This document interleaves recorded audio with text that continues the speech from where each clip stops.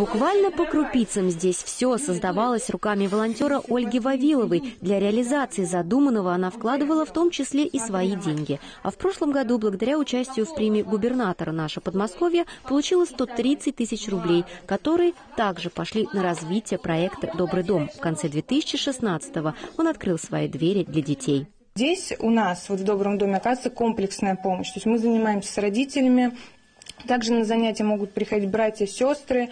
А, у нас специфика занятий детей э, от нуля до бесконечности возраста. Ольга по образованию психолог и долгое время занимается с особенными детьми, а главное, помогает им в развитии, ведь они нуждаются не только в повышенном внимании со стороны взрослых, но и в качественном индивидуальном подборе специальных развивающих занятий. Конечно, прогресс есть. Мы ходим уже второй год.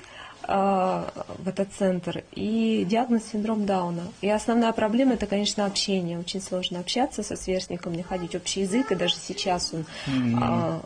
один большую часть занятия находился. Но тем не менее результаты есть.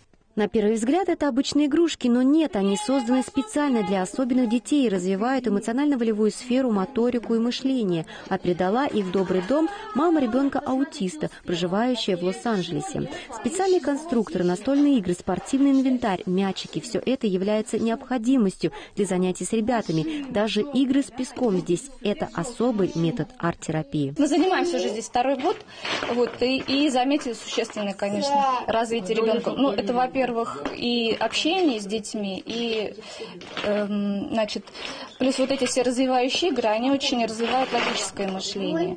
У руководителя проекта «Добрый дом» Ольги Вавиловой планы большие. К работе с детьми она хочет привлечь и других специалистов. Надо отметить, что занятия проходят совершенно бесплатно. Сегодня их посещают порядка 40 семей, которые, конечно, оказывают поддержку Ольге. Правда, на все финансов не хватает. За аренду помещения приходится также платить, поэтому любой помощи они рады это и помощь волонтеров, это помощь э, в покупке развивающего материала или создании своими руками э, развивающего материала, это информационная поддержка, нам нужна финансовая стабильная поддержка ежемесячная, а также у нас существуют благотворительные боксы, которые мы можем разместить в разных организациях, и, соответственно, люди уже по возможности могут что-то бросать. У нас даже был опыт э, по одному рублю каждый день, если человек будет бросать, уже мы многое можем сделать. В этом году Ольга тоже отправила свой проект «Добрый дом» на губернаторскую премию «Наше Подмосковье» и честно призналась, в победу верит. Сейчас ей деньги очень нужны, чтобы продолжить делать добрые дела.